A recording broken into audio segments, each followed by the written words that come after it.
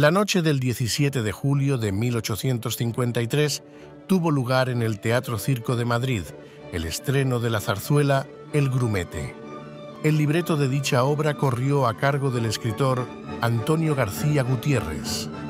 El maestro Emilio Arrieta Corera fue el encargado de componer los diferentes números musicales de esta zarzuela. El elenco del estreno fue el siguiente. Emilia Moscoso en el papel de Luisa, María Bardán como Juana, Eladia Aparicio en el papel de Serafín el Grumete, Francisco Salas como Tomás el Corsario, Francisco Cauvet como Pascual, Vicente Caltañazor en el papel de Antón.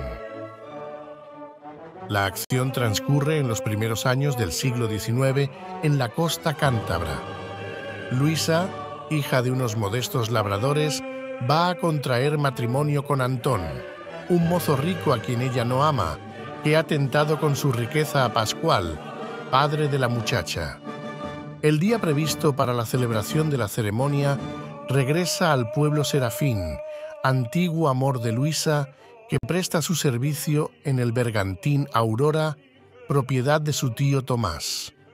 Serafín ha huido del barco para reconquistar a Luisa, pero su tío, un corsario que posee gran riqueza, va tras su pista y cuando conoce a Luisa, queda cautivado por su belleza, llegando a soñar que ella pudiera ser su esposa.